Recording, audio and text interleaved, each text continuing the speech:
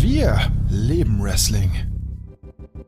Goldberg-Rückkehr für Saudi-Show. Informationen des Portals WrestleVotes zufolge plant die WWE ein Rematch zwischen Bobby Lashley und Goldberg für das nächste Saudi-Arabien-Event, das voraussichtlich Ende Oktober stattfinden wird.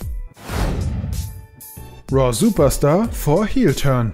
Wie Paul Davis von WrestlingNews.co berichtet, könnte Keith Lee demnächst als Heel eingesetzt werden. Bereits vor einigen Tagen berichtete bereits Dave Meltzer, dass Lee aktuell Dark Matches vor Raw und SmackDown bestreitet, um dort an einem neuen Gimmick und Kampfstil zu arbeiten.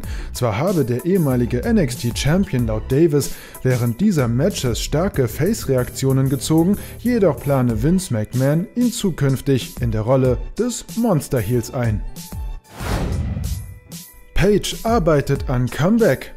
Während eines Twitch-Streams äußerte sich Paige zu einem möglichen In-Ring-Comeback. So sei sie überzeugt davon, noch einmal in den Ring steigen zu können und beginne aktuell für diesen zu trainieren. Jedoch wisse sie, dass es möglicherweise noch ein langer Weg sein wird.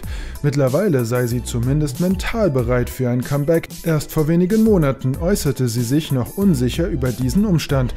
Ob das Comeback bei WWE geschehen wird, ließ sie noch offen. So gab sie an, dass ihr Vertrag beim Marktführer im kommenden Juni ausläuft läuft. Aktuell wisse sie noch nicht, ob von Seiten der WWE Interesse an einer Vertragsverlängerung besteht. Zusätzlich könnte auch ihr Twitch-Account ein Hindernis für eine Verlängerung darstellen. Im Anschluss an ihren Stream veröffentlichte sie ein Update über ihren körperlichen Zustand bei Twitter. Demnach sei sie mittlerweile wieder in der Lage zu trainieren und verspüre dabei keine Schmerzen im Nacken. Update zu Sasha Banks. Informationen von Mike Johnson zufolge wird Sasha Banks auch für die anstehende SmackDown-Ausgabe ausfallen.